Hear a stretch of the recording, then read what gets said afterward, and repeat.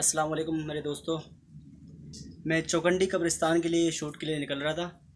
तो रास्ते में अभी बारिश हो गई तो और इतनी तेज़ बारिश है कि हालत बुरी हो गई है। और यहाँ पर जिसम भी बड़ा दर्द कर रहा है मेरा। तो मैं थोड़ी सी छोटी सी दुकान पे आया, मैं आके रुका हूँ यहाँ पर मैं। बारिश को देख देख के खौफ आ रही थी तेज़ बारिश है। बहुत तेज़ पानी आ रहा है यहाँ पर।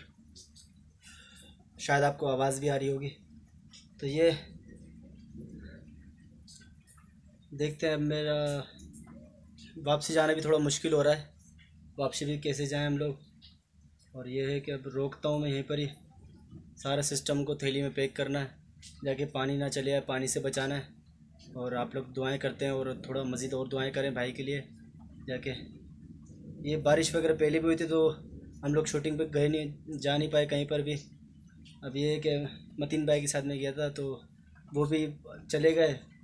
उनकी बाइक का मसला हो गया था स्टार्ट नहीं हो रही थी।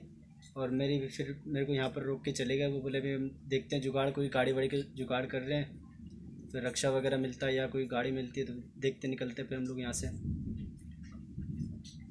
बादलों की आवाज़ें आपको आ रही होंगी। तो मेहरबानी करके बस दुआएँ करें कि खैर खैरियत खैर खैरियत से हम लोग वहाँ घर पहुँच जाएँ अपने अपने कि बारिश का, अचानक बारिश हुई है, बहुत ज़्यादा तेज़ हुई है।